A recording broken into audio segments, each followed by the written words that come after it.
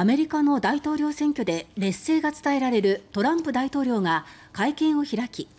郵便投票は不正につながるとする主張を繰り返しました。トランプ大統領は日本時間の午前8時半過ぎにホワイトハウスで緊急会見を行い郵便投票についてこれまでも警告してきたが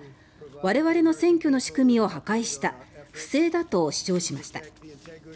また合法な票を数えれば私は簡単に勝つと強気な姿勢を示しました。トランプ大統領はこれまでの主張を繰り返し質問を受け付けずに会場を後にしました。アメリカメディアの記者は大統領はホワイトハウスの会見室を使って根拠のない主張をしていると批判しました。